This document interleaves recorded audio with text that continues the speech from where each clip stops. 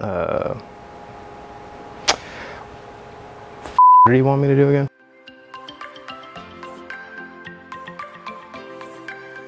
What's up everybody? Uh, it's Tom with Verus Engineering.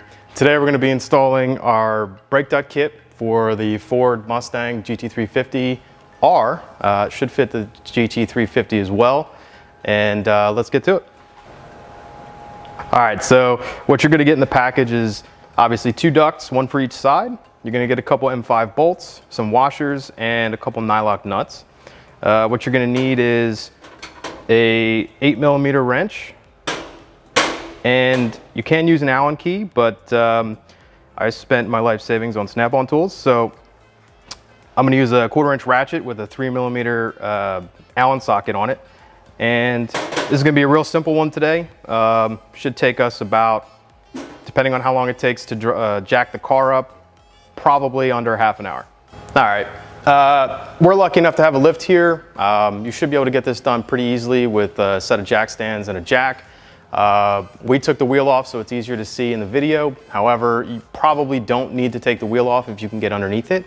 Uh, if you're very skilled, you might even be able to just do it without jacking the car up uh, and turning the wheel all the way to the right or left side, depending on the side that you're installing it. So Ford conveniently left us with two bolt holes here on the control arm.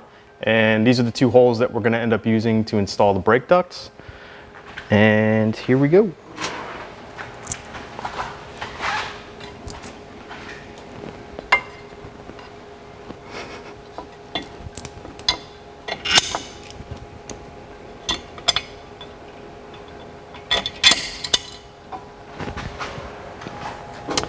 So you're gonna wanna slot the bolts through there. And the, it's gonna come with one washer and two nylock nuts. The washer is gonna go on the upper bolt on the back side. There's some light. You can see that. There's a washer on the top. And we're just gonna put a nylock on the bottom. Uh, you can see here, there's really not a lot of room for a washer to sit there. All right, so we're gonna grab those tools that you, grab, you grabbed earlier. Ratchet on the front, wrench on the back.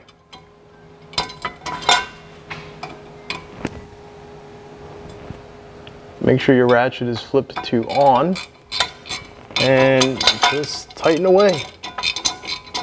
Now, I should say you could probably have an extension here if it makes it easier for you.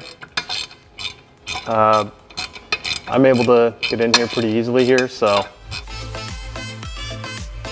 All right, so as you can see, we have this installed now. Um, the holes here are slotted, so you do have some room to move around. Uh, you wanna make sure that as you tighten this up and you get it into place, you don't wanna be touching any other components like the tie rod end uh, or anything else. Uh, these are M5 bolts, like I said earlier, so you don't wanna kill them. You wanna bottom the nylocks out and probably give them just a little uh, a little bit extra, probably around five to seven foot pounds here. The nylock nuts on the back are gonna keep these things from backing out um, under you know, any kind of vibration or anything like that. But as you can see, very easy install.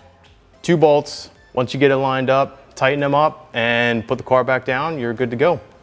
All right guys, thanks for watching today. Uh, this was an easy one.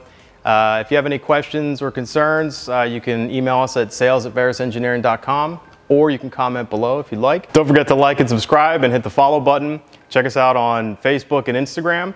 And until next time, guys, we'll see you later.